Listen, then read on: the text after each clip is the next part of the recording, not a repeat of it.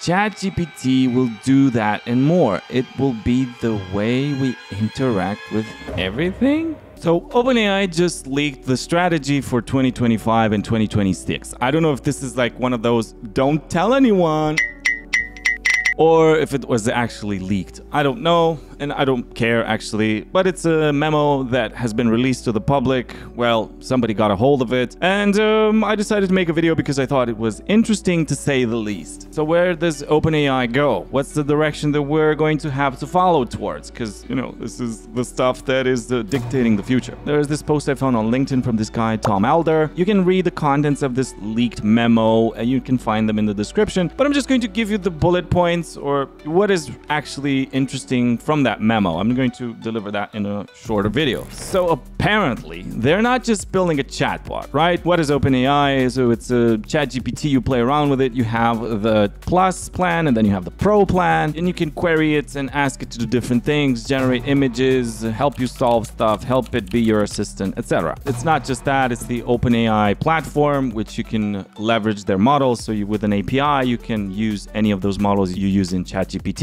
You can use them to do perform different tasks, like help you deliver a customer experience strategy, like how you can improve a customer experience strategy or define an implementation plan, etc. This is just in our universe of being Zendesk consultants. By the way, my name is Dominic. I'm a customer experience enthusiast. I've been one for 15 plus years. I've been 12 years as Zendesk consultant and onwards with the video. So it seems that they're not just building the chatbot, but they're building an operating system. So by 2026, ChatGPT wants to be your interface for the internet. So what does that even mean? So as ChatGPT evolves, it will replace more and more things, like search engines, browsers, etc. It seems that the guys never actually intended to build a SaaS or software as a service, like a website that you access and it's a software there which you can access by paying access fee depending on the plan that you choose. Seems that they never wanted that. OpenAI board rather seems surprised by the success of these uh, plans of Plus and Pro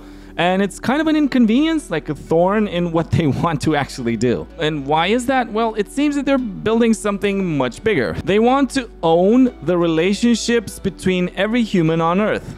Holy crap. They want a physical device by 2026. Not an app, not a website, but a device. And let me just quote this one so I get it exactly right. Today, ChatGPT is in our lives through existing form factors, our website, phone, and desktop apps. But our vision for ChatGPT is to help you with all of your life, no matter where you are. They seem to be wanting to sell an iPhone and the App Store with it, or an Android device and the Google Play Store. and to quote again, the best AI is the one that is always there for you. Why do they want to make this move? Well, they are terrified of being put in a box by Apple, Google, Microsoft, and uh, you know these guys could just release a competing AI software, which would just take them out. Or you know, being in the box, they would just be that in that box and nothing else. So in the document, it literally says they want to fight for user choice experience because platform owners like Google, Microsoft, and Apple could just push them away. So what does this mean for startups? What does it mean for you? And for me, for that matter. So if ChatGPT becomes your interface for everything, every app needs to be available as a backend service or as an API. You have a restaurant booking app, ChatGPT calls your API. You have a calendar app, ChatGPT moves your meetings around. You have an email client, well, ChatGPT drafts and sends emails for you. ChatGPT, ChatGPT, ChatGPT, ChatGPT. So now the question is will OpenAI replace apps? It's rather, will your app survive if it's just being accessed through an API? Will it? And here's the quote, so I say it exactly like they did. All human computer interactions can be mediated by ChatGPT. Just as the web intermediates much of our work, commerce, social, and entertainment activity today, ChatGPT will do that and more. It will be the way we interact with everything.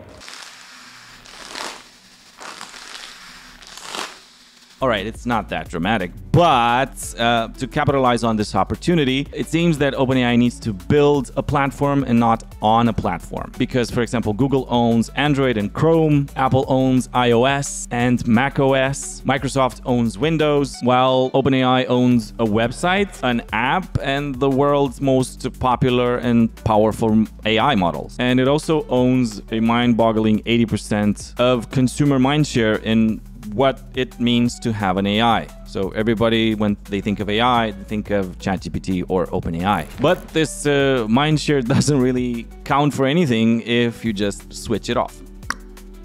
So there you have it. This is the plan for the next uh, two years for OpenAI, and it seems that they are aiming big, and uh, we'll see what unfolds in the next uh, year and a half, two years. I personally think this is good.